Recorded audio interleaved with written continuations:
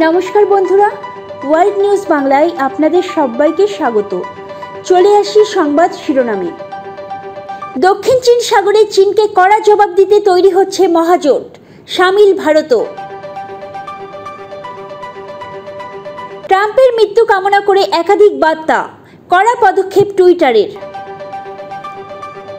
মহিলা সম্পাদক প্রকাশ্যে আত্মঘাতী, রুশ প্রেসিডেন্ট পুতিনের মাথায় বজ্রাঘাত। করোনার ধাক্কা সামলে অবশেষে খুলছে মক্কা। তবে মানতে হবে স্বাস্থ্যবিধি।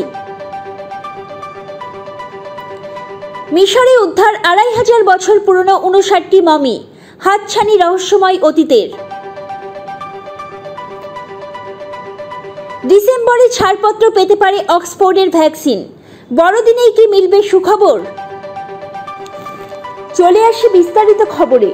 দক্ষিণ চীন সাগরে চীনকে কড়া জবাব দিতে তৈরি হচ্ছে মহাজোট, সামিল ভারতও। দক্ষিণ চীন সাগরে বেইজিংয়ের আস্ফালনকে যে জাপান একেবারেই মেনে নেয়নি, তা চীনকে দ্বিপাক্ষিক সম্পর্কের খাতে বুঝিয়ে দিয়েছে জাপান। একই সুর কানাডার। আমেরিকা বহু আগে থেকেই চীন বিরোধিতায় সরব। অন্যদিকে সাগর জলে চীনের দাদাগিরি মানতে পারছে না অস্ট্রেলিয়া। এমন পরিস্থিতিতে লাদাখ আবহে ভারতসহ কোয়াডভুক্ত দেশের পাশে এসেছে কানাডা। ফলে চীনের বিরুদ্ধে চোখ রাঙানি আরও জোরালো হতে শুরু করেছে। চীন আগেই জানিয়েছে যে, ভারত, অস্ট্রেলিয়া, মার্কিন যুক্তরাষ্ট্র, জাপানের সমন্বয়ে গঠিত কোয়াড দেশগুলিকে তারা একটি এক্সক্লুসিভ গ্রুপ ছাড়া আর কোনো বিশেষ তাৎপর্য দেয় না। এদিকে বিশ্বের এই চারটি দেশই একযোগে চীন বিরোধিতায় সরব হয়ে জোরালো বার্তা দিতে চলেছে বলে খবর। মূলত জাপান ও ভারতের সঙ্গে চীনের সীমান্ত ও এলাকা দখল নিয়ে সংঘাত রয়েছে। অস্ট্রেলিয়া ও আমেরিকাকে চীন বাণিজ্য যুদ্ধের মাধ্যমে শত্রু শিবিরে পরিণত করেছে। মূলত ইন্দো প্যাসিফিক এলাকায় দক্ষিণ চীন সাগরের অংশে সম্পদের দিকে চীনের লোভের দৃষ্টি রয়েছে বলে ইঙ্গিত দিয়েছে আমেরিকা। মার্কিন সচিব মাইক পম্পেও জাপান সফরের আগে জানিয়েছেন, যেভাবে দক্ষিণ চীন সাগর এলাকায় সম্পদ নিয়ে চীন শোষণ ও বিস্তারের নীতি নিয়েছে, তা মোটেও আমেরিকার পছন্দ নয়। কার্যত একই সুর জাপান, অস্ট্রেলিয়া ও ভারতের। তিনি জানান, চীনের কমিউনিস্ট পার্টির যে আর্থিক নীতি রয়েছে এই এলাকায়, তা বিশ্বকে নিঃস্ব করতে উদ্যত হয়েছে। জাপানের সঙ্গে দ্বিপাক্ষিক সম্পর্ক উন্নত করে পুরনো আর্থিক নীতি আবারও উন্নত করতে চেয়েছে চীন। কিন্তু চীনের সেই চেষ্টায় কার্যত জল ঢেলে দিয়েছে জাপান।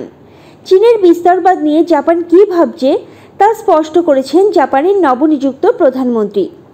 উল্লেখ্য, বঙ্গোপসাগরে অস্ট্রেলিয়ার সঙ্গে মালাবার নৌসেনা মহড়ায় নামবে ভারত। যা থেকে বোঝা যাচ্ছে, চীনের বিরুদ্ধে সাগর জলে কতটা মুখিয়ে রয়েছে দুই দেশ। অন্যদিকে, এই কোয়াডভুক্ত দেশগুলির মধ্যে ফাইভটি সংযোগ জোরালো করার সিদ্ধান্তও জোরদার হয়েছে। যার দ্বারা ইন্দো প্যাসিফিক এলাকায় সেনা মহড়ার সময় সংযোগ জোরদার হবে বলে আশা। এদিকে, চিরাচরিতভাবে চীন বিরোধিতার রাস্তা তুঙ্গে রেখেছে কানাডা। করোনার আবহে চীনের সঙ্গে কানাডার সংঘাত তুমুল অবস্থায় ছিল।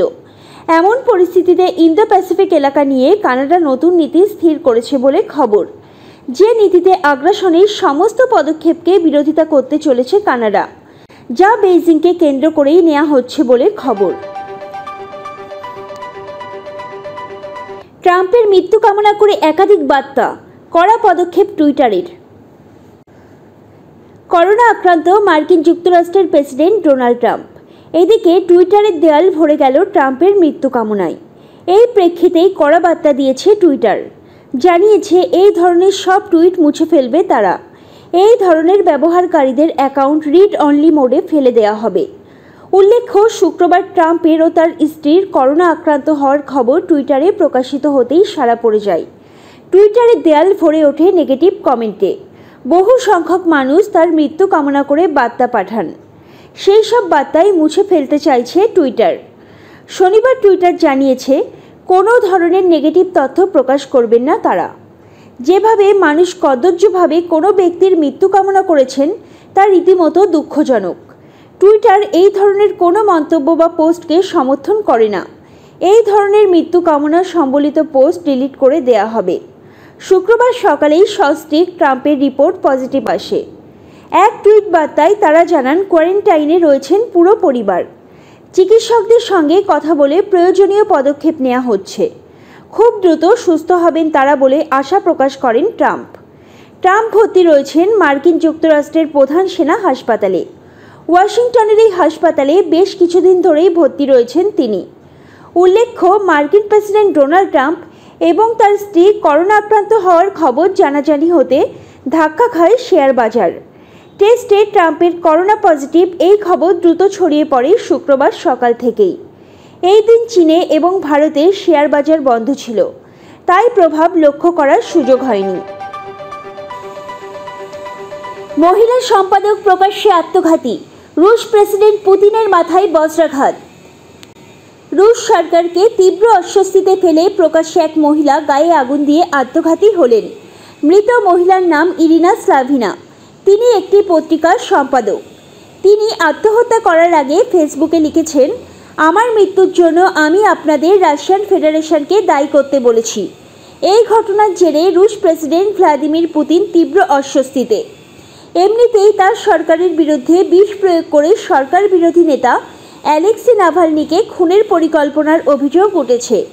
তার মাঝেই মহিলা সম্পাদক আত্মঘাতী হওয়ায় পুতিনের মাথায় যেন বজ্রাঘাত হলো। বিবিসি আল জাজিরার খবর নিঝনি নোবগরদ শহরের প্রশাসনিক মন্ত্রকের সামনে গায়ে আগুন ধরিয়ে আত্মহত্যা করেছেন ইরিনা। রুশ সংবাদ সংস্থা তাজ জানাচ্ছে, ইরিনার দেহ দগ্ধ অবস্থায় মিলেছে। ইরিনা স্লাভিনা একটি ওয়েবসাইটের প্রধান সম্পাদক ছিলেন। এই সাইটের নীতি হল সংবাদ ও বিশ্লেষণ করা ও সেন্সরশিপ না মানা। তবে ইরিনার মৃত্যুর পরেই সেই ওয়েবসাইট বন্ধ করা হয়। এর আগে একটি নিবন্ধে সরকারের সমালোচনা করে তিনি জরিমানা দিতে বাধ্য হন। ইরিনার আত্মঘাতী হওয়ার ছবি ইতিমধ্যেই ভাইরাল। ভিডিওতে দেখা যায়, একজন ইরিনাকে রক্ষা করতে যাচ্ছেন আর ওই ব্যক্তিকে ইরিনা জোর করে দূরে ঠেলে দিচ্ছেন। ভীষণভাবে দগ্ধ হয়ে তার মৃত্যু হয়। ইরিনা মৃত্যুর আগে অভিযোগ করেন দেশে গণতন্ত্র প্রতিষ্ঠা করতে চাই এমন একটি সংগঠনের বিষয়ে খোঁজ নিতে গিয়ে পুলিশ তার ফ্ল্যাটে অনুসন্ধান চালায়। কম্পিউটার ও নথিপত্র বাজেয়াপ্ত করা হয়। তবে এই অভিযোগ অস্বীকার করেছে সরকার। করোনার ধাক্কা সামলে অবশেষে খুলছে মক্কা। তবে মানতে হবে স্বাস্থ্যবিধি। করোনা পরিস্থিতিতে সাত মাস বন্ধ থাকার পরে অবশেষে রবিবার থেকে খুলে দেয়া হলো মক্কা। সম্প্রতি সৌদি আরব সরকারের তরফে ফোর্থ অক্টোবর থেকে উমরাহ পালনের জন্য এটি খুলে দেওয়ার বিষয়ে ঘোষণা করা হয়েছিল। তবে আপাতত সীমিত পরিসরে খুলছে মক্কা। এখন কেবল সৌদি আরবে বসবাসকারীরাই সেখানে যাওয়ার সুযোগ পাবেন।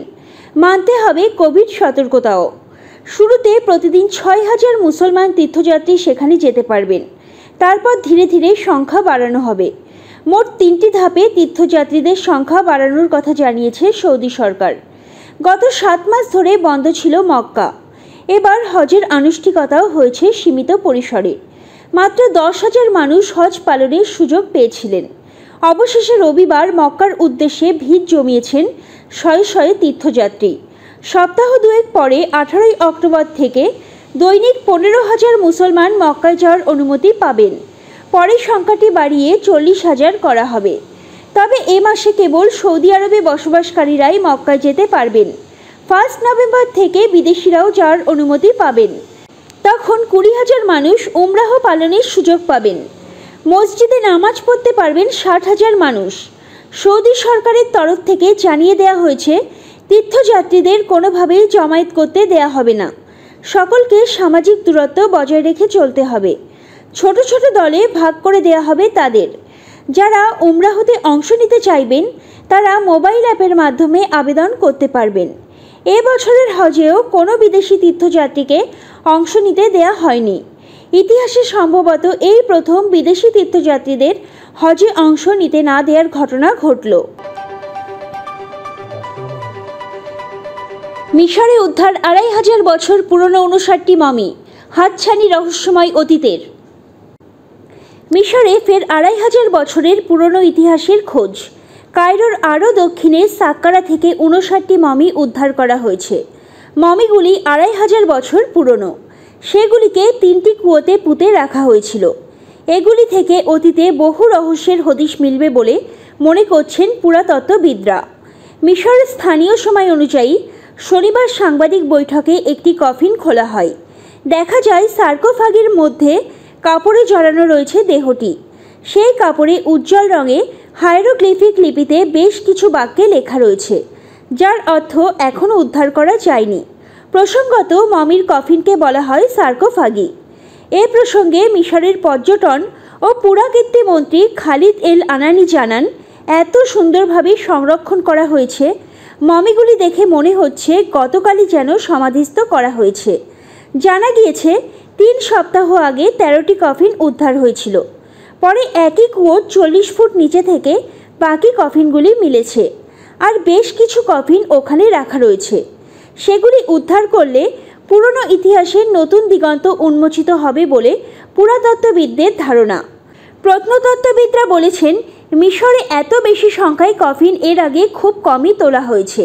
কফিনগুলি কাঠের তৈরি। এসবের গায়ে নানা রং দিয়ে নকশা আঁকা। এগুলির অধিকাংশের মধ্যেই মমি রয়েছে। ওয়ার্ল্ড হেরিটেজ সাইট সাক্কারার এই সমাধি ক্ষেত্রে তিন হাজার বছর ধরে মৃতদেহ কবর দেওয়া হতো। সাক্কারা মালভূমিতে অন্তত এগারোটি পিরামিড রয়েছে। এগুলিতে রয়েছে কয়েকশো প্রাচীন কবর। বহু সম্রাট ও আধিকারিকের মমি রয়েছে এখানে। প্রসঙ্গত সাক্কারা মিশরের প্রাচীন রাজধানী, মেমফিসের গোরস্থানের একটি অংশ। এখানেই রয়েছে গিজার পিরামিড। ডিসেম্বরে ছাড়পত্র পেতে পারে অক্সফোর্ডের ভ্যাকসিন। বড়দিনেই কি মিলবে সুখবর? এবছরের শেষেই হয়তো তৈরি হয়ে যাবে অক্সফোর্ডের ভ্যাকসিন। সেক্ষেত্রে বড়দিনের ছুটিতেই হয়তো মিলবে সুখবর। শনিবার এমনই আশার বাণী শোনালো ব্রিটিশ মিডিয়া। ব্রিটেনের ভ্যাকসিন ক্যান্ডিডেট চ্যাডক্স ওয়ানের চূড়ান্ত পর্যায়ের ক্লিনিক্যাল ট্রায়াল চলছে। অক্সফোর্ড বিশ্ববিদ্যালয়ের সঙ্গে যৌথ উদ্যোগে এই টিকাটি তৈরি করেছে ওষুধ প্রস্তুতকারী সংস্থা অ্যাজেনেকা। একটি ব্রিটিশ দৈনিকের রিপোর্টে দাবি করা হয়েছে, একেবারে শেষ পর্যায়ের পরীক্ষা চলছে এখন। সেক্ষেত্রে হয়তো ডিসেম্বরে বড়দিনের মধ্যেই মিলবে রিপোর্ট এবং ভ্যাকসিনটিকে ছাড়পত্র দিয়ে দেবে ব্রিটিশ স্বাস্থ্য নিয়ামক সংস্থা। একটি সরকারি সূত্রের খবর ছাড়পত্র মিললে যত দ্রুত সম্ভব ছমাস কিংবা তারও আগে ভ্যাকসিনেশন প্রোগ্রাম শুরু হয়ে যাবে। বরিস জনসনের সরকার ইতিমধ্যেই দশ কোটি ডোজ কেনার বরাদ দিয়ে রেখেছে। এই বিষয়ে একটি প্রোটোকল জারি করেছে তারা। তাতে জানানো হয়েছে, পঁয়ষট্টি বছরের ঊর্ধ্বে যাদের বয়স, সবার আগে তাদের টিকা দেয়া হবে। তারপর মাঝবয়সী, বিশেষ করে যাদের কোনো জটিল রোগ হয়েছে, তাদের টিকা দেয়া হবে। তারপরে বাকিদের।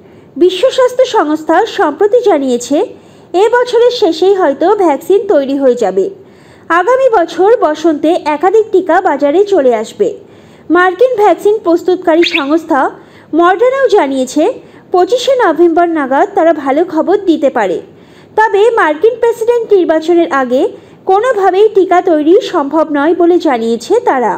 বিশ্বের সবচেয়ে বড় ভ্যাকসিন প্রস্তুতকারী সংস্থা গ্ল্যাক্সো স্মিথ ক্লাইনও আসার কথা শুনিয়েছে। তাদের ভ্যাকসিনও ক্লিনিক্যাল ট্রায়ালে ভালো ফল করেছে বলে খবর। তাহলে আজ এই পর্যন্ত। ভালো থাকুন, সুস্থ থাকুন। ধন্যবাদ।